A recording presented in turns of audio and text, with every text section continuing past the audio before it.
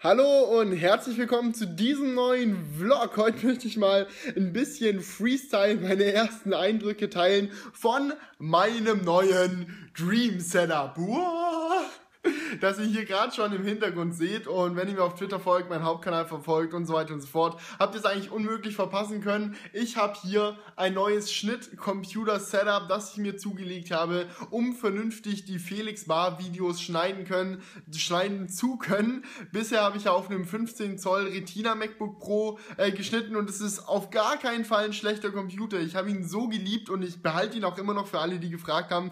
Der kommt nicht weg, weil ich ab und zu auch mal noch unterwegs schneiden muss, wenn ich mal auf einem Event bin, wie der IFA oder sowas ähnliches. Da will ich natürlich einen Schnittcomputer unterwegs haben, damit ich euch da möglichst schnell, was ich, äh, neue Hands-on-Videos oder was weiß ich alles präsentieren kann. Das heißt, das MacBook geht nirgendwo hin, aber zum vernünftigen Schneiden braucht man schon mehr als einen Laptop eigentlich. Und deswegen habe ich mir jetzt hier diesen neuen Retina iMac von Apple gegönnt und hier dieses Setup hochgezogen. Und äh, naja, ich habe das jetzt hier seit äh, zwei Tagen, um genau zu sein. Habe schon zwei Videos komplett darauf geschnitten, viel mit dem gearbeitet, viel eingerichtet, viel äh, einfach damit gemacht und habe jetzt so ein paar erste Eindrücke davon bekommen, was wirklich so geil ist an diesem Retina iMac und was vielleicht auch nicht so geil ist und habe ein bisschen einschätzen können, ob es jetzt alles so eine gute Entscheidung war, dieses Setup so zu gestalten, wie ich es jetzt gestaltet habe mit dem Magic Trackpad, mit der Wireless-Tastatur und vor allem auch mit dem Thunderbolt-Display, äh, über das ich nochmal in einem extra Video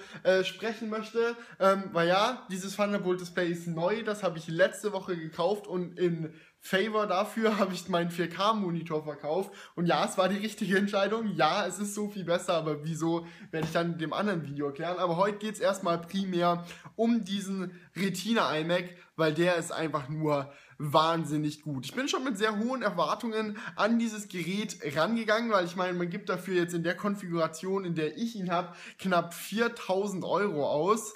Äh, und das ist natürlich ein Arsch voll Geld für alle, die es interessiert. Ich glaube, ich habe es schon mal erklärt, bereit auf Twitter und auf dem Blog-Channel hier, ähm, was das für eine Konfiguration ist. Das ist wirklich der High-Spec, High-End-Spec Top-Konfigurations-iMac, also mit dem 4 GHz Intel Core i7, mit der stärkeren Grafikkarte, die 4 GB VRAM hat, mit einer 1 TB SSD und 32 GB RAM, habe ich aber selber geupgradet. Da kommt wahrscheinlich auch noch ein Video auf dem Felix Bar Channel, wie das funktioniert mit dem RAM-Upgrade. Ähm, aber wie gesagt, wenn man sich so einen teuren, so heftig bespeckten Computer kauft mit so einem krassen Retina-Display, hat man natürlich entsprechende Erwartungen. Da wünscht man sich natürlich entsprechend, dass dieser Computer richtig fett performt und einen in allen Wegen zufriedenstellt. Und ähm, als ich dann äh, den Retina iMac bestellt hatte schon, ähm, bin ich mal im Apple Store gewesen, weil ich es einfach nicht aushalten konnte, auf meinen eigenen zu warten, um mir den Retina iMac dort mal anzuschauen. Und die Sache ist die, in den Apple Stores steht ähm, die Low-End-Variante vom iMac rum. Das heißt, die mit dem schwächeren Prozessor, die mit der schwächeren Grafikkarte, die mit dem Fusion Drive und vor allem auch die mit nur 8 GB RAM. Und ähm, als ich die ausprobiert habe im Apple Store, habe ich gedacht, ich traue meinen Augen nicht mehr richtig, weil erstens, das Display sah verdammt geil aus, das ist jetzt auch beim High-End-Model so, aber dieser Low-End iMac ist unter, dem, unter dieser Display-Auflösung fast zusammengebrochen. Wenn man da mal einfach Mission Control aufgemacht hat, ein paar Fenster geöffnet hat, hat das richtig fett Probleme gegeben und deswegen hatte ich wirklich sehr große Bedenken, dass das beim iMac auch sein wird, äh, bei meinem iMac auch so sein wird, aber ich kann es jetzt mal hier kurz demonstrieren, hoffentlich. Ähm, ist es so, dass es beim iMac hier jetzt in der Top-Konfiguration kaum Probleme gibt. Ich mache mal Mission Control auf. Okay, jetzt hat es gehakt, Vorführeffekt. Aber jetzt seht ihr, im Normalfall äh, läuft das doch recht flüssig. Beim kleineren Modell hat das gehakt wie sonst was. Aber jetzt hier beim Retina iMac läuft es in den meisten Fällen äh, ziemlich gut. Nur wenn ich Final Cut noch offen habe, also mein Schnittprogramm, dann äh, kommt die Grafikkarte so langsam an ihre Grenzen. Wenn man Final Cut offen hat und dann Mission Control öffnet, dann fängt es an ein bisschen zu ruckeln. Aber alles in allem bin ich von der Performance doch eher überrascht im Positiven, als ich äh, als ich gedacht habe eigentlich, dass sie ist, weil ich habe eigentlich befürchtet, dass diese, ich mache mal hier wieder das geile Wallpaper rein, ähm, dass dieses High-End-Modell nicht so viel besser performt als dieses ruckelige Low-End-Modell. Aber da bin ich auf jeden Fall sehr positiv überrascht worden. Absolut positiv überrascht worden bin ich auch nochmal vom Display, weil wenn man so ein Teil im Store sieht, ist es natürlich immer nochmal eine andere Sache, wie wenn man das jetzt tatsächlich zu Hause vor sich stehen hat und sieht, ähm, wie das Ganze hier äh, im tatsächlichen Arbeitsflow so performt. Ich habe hier übrigens noch zwei Softboxen im Zimmer stehen, weil ich vorher noch ein bisschen was für ein anderes Video ähm, gefilmt habe, deswegen wundert euch nicht. Ähm, aber dieses Display ist der absolute Wahnsinn. Klar, man kann in, sich in den Store stellen, sich das mal anschauen und sagen, wow, ist das scharf. Aber wie scharf das wirklich ist und was das wirklich bringt, das merkt man erst, wenn man ähm, den iMac anfängt zu benutzen. Also ich habe ja hier daneben das Thunderbolt ste äh, Display stehen, was die Auflösung vom alten iMac hat. Und äh, deswegen habe ich hier ständig den direkten Vergleich. Und zwei Dinge sind da sehr bemerkenswert. Und zwar erstens, die Auflösung vom Thunderbolt Display und auch von den alten iMacs ist und war nie scheiße. Es ist nicht so, dass man sich dieses Display anguckt oder das Display vom alten iMac anguckt und sagt, boah, jetzt kriege ich gleich das Kotzen, das kann ja wohl nicht angehen, wie scheiße das aufgelöst ist, weil 1440p ist für einen 27 Zoll Monitor mehr als üblich. Die meisten Windows-Rechner, die einen 27 Zoll Monitor dranhängen haben, haben einen 1080p äh, Monitor und äh, 1440p ist nochmal eine ganze Ecke mehr und zudem ist dieser Monitor und der auch im alten iMac drin war, wie gesagt, auch an sich schon mal ein ziemlich guter Monitor. Aber das hier, das ist nochmal eine komplett eigene Klasse, was da in dem iMac verbaut wurde. Ich hatte am Anfang Angst, dass äh, Apple da so ein bisschen den Weg geht, den Samsung zum Beispiel bei ihrem 4K-Monitor gegangen ist, den ich auch vor dem Thunderbolt-Display hatte, nämlich äh, Auflösung um jeden Preis, das heißt um den Preis von Farben, um den Preis von Kontrast, Kontrasten, um den Preis vom Blickwinkel. Hauptsächlich, wir, Hauptsache ist, wir kriegen so viele Pixel wie möglich rein. Aber beim äh, Retina iMac ist das echt nicht der Fall, weil von den Farben her, von dem Blickwinkel, von allem einfach, ist dieses Display dem Display sowas von überlegen. Ich weiß nicht, ob ich das jetzt hier mal direkt demonstrieren kann, ob man das jetzt hier schon sieht. Ähm, aber die Blickwinkel zum Beispiel sind um einiges besser, hat aber auch was damit zu tun, dass das Display nicht laminiert ist. Das war ja bei der letzten Generation iMac schon verbessert worden.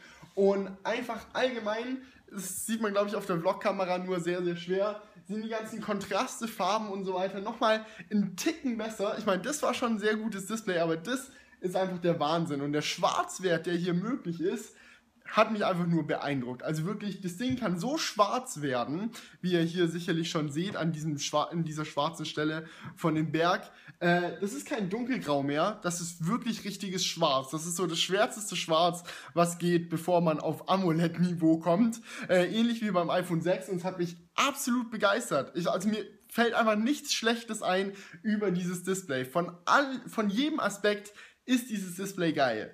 Eine Frage, die man sich natürlich stellt, ist, okay, braucht man die Auflösung?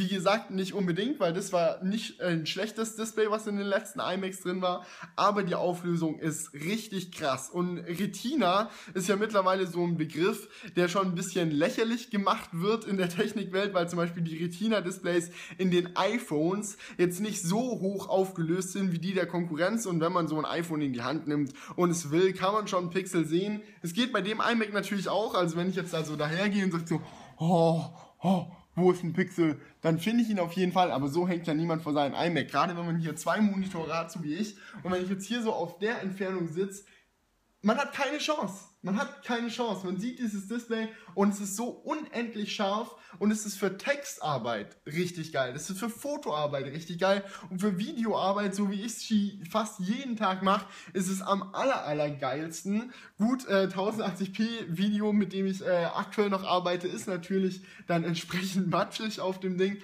aber in Zukunft dort 4K zu schneiden, äh, wird so ein Traum werden und ich freue mich da auf jeden Fall schon drauf. Weil es ist nicht nur ein Retina-Display, das ist nicht nur ein 4K-Monitor, das ist 5K, super, super scharf und von den Farbenblickwinkeln her einfach nur überwältigend. Und wie gesagt, von der Performance her äh, ist es auch um einiges besser, als ich gedacht habe. Versteht mich jetzt nicht falsch, dieses Ding ist kein Mac Pro. Äh, viele haben mich auch gefragt, warum ich kein Mac Pro gekauft habe. Der einfache Grund ist dieses Display, weil das Display allein schon 3000 Euro wert ist eigentlich.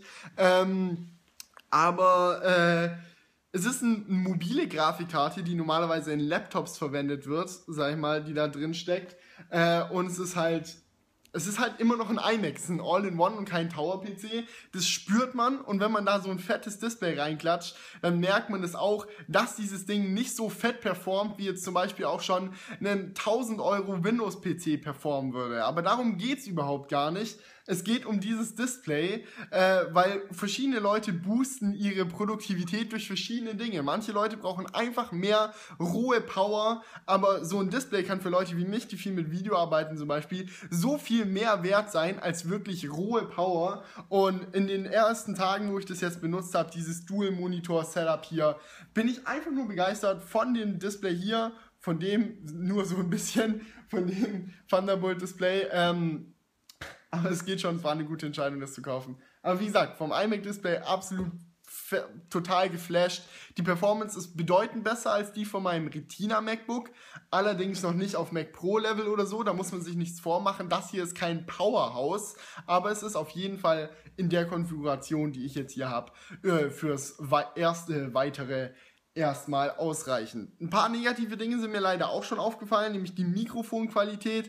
Äh, die ist so ne, nicht so gut wie zum Beispiel die äh, Mikrofone in meinem MacBook. Die haben mich da um einiges mehr geflasht. Liegt vielleicht daran, dass die Mikrofone beim MacBook auf der Vorderseite sind und hier so auf der Ober- und Rückseite hier oben bei der Kamera. Ist vielleicht ein bisschen unglücklich positioniert, aber ansonsten hätte man ja auch hier vorne diesen schönen Streifen kaputt gemacht. Ähm, und die Anschlüsse auf der Rückseite sind auch eher so suboptimal. Ich glaube, da muss ich mir noch einen USB-Hub und einen SD-Card-Reader und sowas holen, weil ständig da so dahinter greifen zu müssen, äh, um da irgendwie eine SD-Karte reinstecken zu können, ist schon hart umständlich. Aber naja, was soll ich sagen, ist immer noch besser, als wenn die jetzt hier auf der Vorderseite wären. Da wäre mir jetzt auch nichts Besseres eingefallen, wie man das Ganze lösen könnte. Eine Sache, die mir noch aufgefallen ist, ganz kurz wollte ich noch kurz erwähnen, und zwar, ähm, Apple hat ja gesagt, dass sie bei den äh, neuen iMacs jetzt so ein super geil laminiertes Display äh, benutzen mit noch, nur, mit noch so einer Extraschicht, die Spiegelungen reduzieren äh, soll, genauso wie bei den neuen iPad Air 2 Modellen. Und äh, bisher bin ich immer davon ausgegangen, dass es Marketinggelaber ist, weil Apple das in der Vergangenheit oft gemacht hat, zu sagen, oh, 75% weniger Spiegelungen und im Endeffekt war es dann einfach gar nichts. Aber ich kann es euch hier beweisen, dass Apple recht hat. Ihr seht hier in den Monitoren spiegelt sich, äh, spiegeln sich die Softboxen, die hier im Raum stehen. Und ihr seht hier, das ist äh, der alte 2011er, 2012er iMac, glaube ich, wo das Display noch nicht laminiert war. Ähm, da seht ihr, die Softbox, die spiegelt da alles tot. An der Stelle, wo das Licht hinkommt, kann man nicht mehr sehen, was da ursprünglich mal angezeigt werden sollte. Und beim iMac geht es so locker klar. Guck mal, da ist so eine fette Softbox. Also wirklich, die Dinger sind unfassbar hell. Ich weiß nicht, ob ihr euch das vorstellen könnt. Mit den Filmen, ich weiß, eine Videobeleuchtung. Das ist einfach so eine richtig fette Lampe. Sowas hat man normalerweise nicht im Zimmer. Und dennoch, die spiegelt da voll rein und dennoch kann man erkennen, was dahinter ist. Und das finde ich echt richtig krass. Aber naja, ich würde sagen, das war es jetzt erstmal hier von meinem kleinen Ramble. Ich bin sehr, sehr, sehr zufrieden mit diesem neuen Setup. Ich liebe es. Die äh, Tastatur, äh, Tastatur Magic Trackpad war auch eine sehr gute Entscheidung. Ich komme richtig gut klar damit. Und äh, ja, ich werde es auf jeden Fall noch ein bisschen weiter austesten. Es werden weitere Videos auf diesem Channel noch dazukommen und auf dem Felix Bar Channel noch dazukommen und natürlich irgendwann noch ein finales Review. Ähm, aber ich würde sagen, von diesem Video reicht's erstmal. Ich werde mich jetzt weiter noch mit diesem Ding begnügen, noch ein weiteres Video schneiden, ähm, was heute Abend noch äh, fertig gemacht werden muss, damit es in ein paar Tagen online gehen kann, weil ich unterwegs bin, bla bla bla. Ist auch nicht so wichtig. Ähm, und ja, vielen Dank fürs Zuschauen. Vielen krassen Dank, dass ihr äh, mit euren Zuschauern auch beim Felix Bar Channel so ein Zeug ermöglicht, dass ich die Videos besser gestalten kann mit so einem krassen Setup. Das ist ein Privileg, das weiß ich. Und äh, ich wäre auf keinen Fall jetzt der, der sich hinstellt, so, ha, guck mal, ihr Opfer, was ich mir von eurem Cash gekauft habe.